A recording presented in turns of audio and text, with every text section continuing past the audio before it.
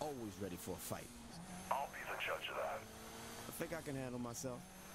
Come to my gym, and we'll see.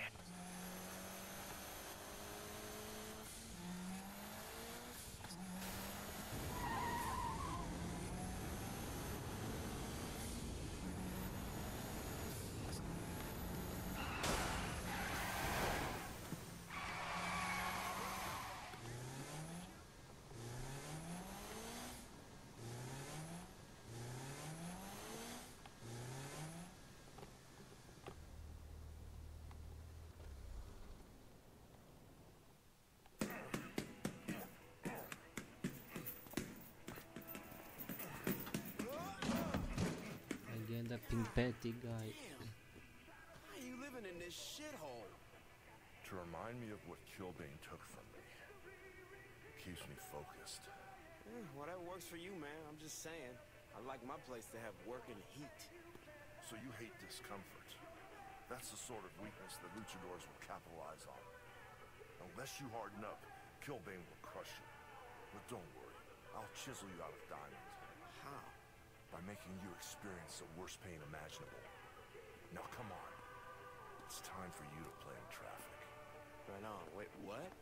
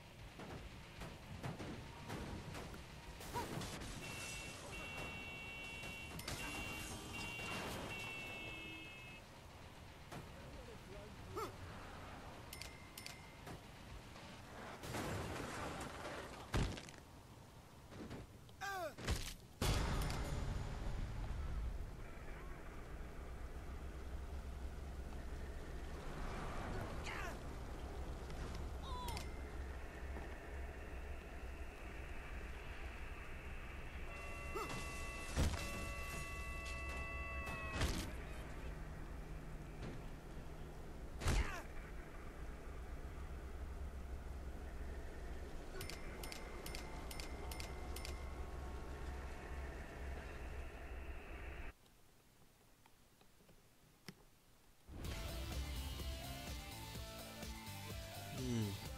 Interesting mission.